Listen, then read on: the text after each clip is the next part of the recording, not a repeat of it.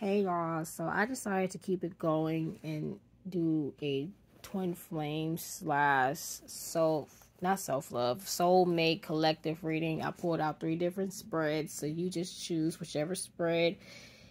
If you're on a um twin flame slash soulmate journey um you pick the spread that most resonates with your situation. Um do not force these messages obviously if you're if you're not in any of those journeys then obviously these videos are not for you. So you just choose one. So we're going to start with um number one okay? We're to start with spread number one. So the first card you got the five of sword um reverse. So with this i feel like the journey is still on the go there is no personal defeat. There is, it's still on a go. But it's at a standstill. Somebody's not satisfied. I think it's because I feel like with this um spread that this twin flames last soulmate couple is still separated. They're still separated. It could be that they haven't actually met yet and they're kind of like telepathically communicating or it could be that they did reunite, but nothing's happening. nothing's happening. There's no movement here with the two of pentacles reversed. And I feel like it's maybe some outside influences that kind of is just out of control, which is causing the blockage. And then you got the Nine of Pentacles reversed. So it's just like there's no there's no satisfactory here. There's no rewards because nothing's happening. It's like somebody or maybe both parties just kind of disconnected from the the connection just for a second. But I feel like they're going to come right back. To come right back and it's to be stronger than ever. They took some time away from the connection. And when you take some time away, I feel like some of you need to take some time because when you do that, um, that's not, yeah, that's the right card. I just make sure it was in order. Um, it's to be stronger than ever. It's to be stronger than ever. Oh, my headphone coming out. And I feel like when you do that too and take some time away, um, your partner will communicate with you telepathically, sorry, telepathically and send you some downloads, okay? And this is the card I pulled out. When you meet your soulmate, you feel calm, no anxiety, no agitation. I feel like some of you are a little anxious, and it could be, like I said, outside influences. It could be work, it could be school, it could be your friends, it could be your family. And sometimes you gotta step away and take a break um, from a connection or just for everything. And then once you come back, you'll be energized and stronger than ever, and the connection can build back up. So that's the first spread. This is the second spread. So this is what I pulled for the second spread. I feel like some of you just started this this journey and you just discovered who your person is or you just met your person. New beginnings. How now I get a sense that somebody just stepped in their feminine energy and is going through a transformation. It could be a man or a woman, or it could be both partners. However, I get a sense that the energy is out of control. There's no discipline. I sense a child in the mix. It could be that both you and your person have they you guys have children together or from different separate uh separations different situations separated separately you guys have children and the situation with the other parent could be a bit toxic. Okay. Yeah. See that? Somebody needs to take a break and they're not taking the break like they're supposed to.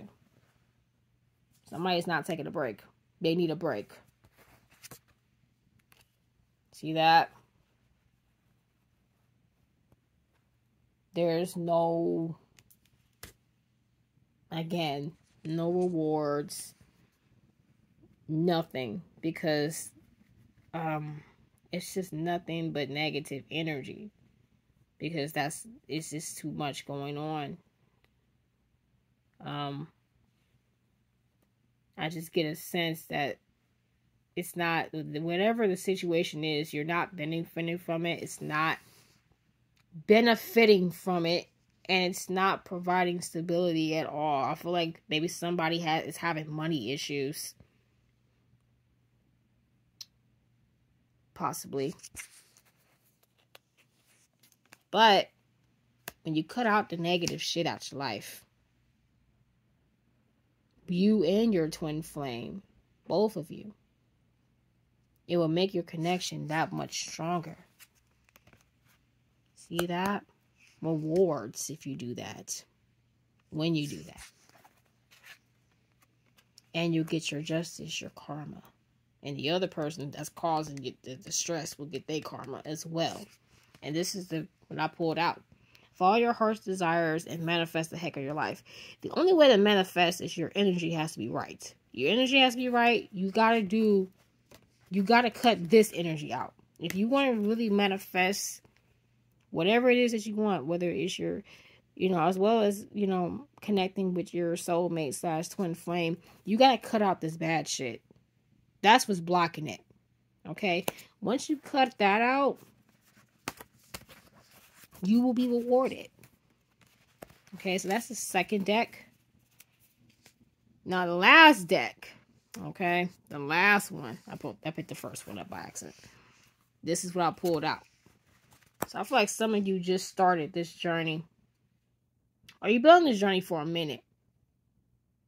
And I feel like y'all are definitely separated. And you feel somebody or maybe both of y'all feel like it's too good to be true. You're confused by the connection. It's like you, you don't know what's going on. Some of you think it's too good to be true. It's not real. Twin flame, soulmate, that's not even a real concept. But you're still gonna stick to it. Whatever it is, you're gonna stick to it. You're not gonna leave. I'ma stay beside him. That's what that that's what that card is giving me. It's giving me I'ma stay beside him type energy. But with that, I don't think this is a bad thing. I feel like somebody stepped into some masculine energy, some daddy energy, and they getting things done because it leads to this. Sun card. You saw the light. You saw the light. For some, I feel like this could be a type of connection where somebody is high highly profiled. Okay or they got a lot of clout or they just feel or maybe you feel like this person is not obtainable because of who they are. But no. You got your answers. Okay now i do feel like there's some dusties in the mix um male or female it could be friends or anybody and you are constantly defending your connection to your person it's almost like they want you to I get a sense of there's like somebody in the situation who doesn't want you to be with your twin flame, who does not want you to be with your soulmate. I get a sense of false twin energy here. Or a hater. a hater on the low. You know, and it's just causing a lot of stress. It's causing a lot of stress and pressure because you're constantly defending the connection.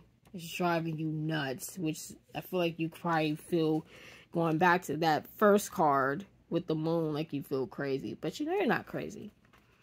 But if you was to go with this person who's deterring you away, that's why I feel like this is a false. I think I feel like this is a false situation. I feel like somebody is trying to tell you that they're there that oh I'm your twin flame, I'm your twin, I'm your person but they're not. It's false, okay? You know who your person is. This card told you who your person was. But then somebody came in and was like, I'm your person. But it's not true. It's not true. It's he's called he or she or is causing problems. Which is why you felt this way. Could be a third party, you know. Wheel of Fortune. You take a chance on this false flame because I feel like this is a false flame. It's not going to go well for you. But I feel like that false flame is going to point you to your twin. And you're going to go back to that connection. They want you to think that your twin flame is boring. And you're not going to look at the false twin as a disappointment because it's just going to just get you back on, you know, to your journey. Almost like they were supposed to show you something. Okay. This is definitely like a twin flame slash false flame is trying to come in and fuck shit up. Okay? Fuck up your peace. This is why you got this card. Do not seek it without peace. Peace comes from within. So I get a sense that this is a false trying to fuck with your peace, trying to deter you away from your twin flame by making you feel like you're crazy and make you feel like that's not your twin flame. When you know who your twin flame is, you've been getting downloads, you've been having dreams, you have telepathically communicated with this person. And here comes this false trying to tell you, no, I'm your twin. You know, they do that. The false flame will act like that's the twin flame, but really they're not. Okay? So you pick the deck that you most resonate with. Okay? Thank you.